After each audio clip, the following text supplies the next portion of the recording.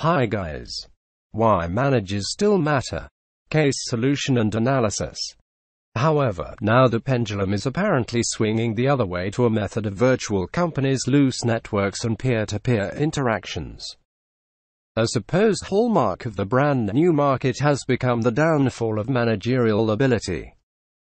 Consultants, management gurus, and pundits have announced that hierarchy is not in.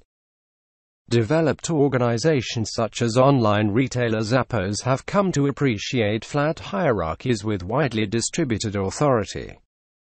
And yet, given the requirements of the present environment, writers Nikolai J. Foss and Peter G. Klein claimed that managerial ability is still crucial in situations where 1. Determinations are time sensitive, 2. Vital knowledge is focused within the management team, and 3. There's demand for internal coordination. Thanks for watching this video.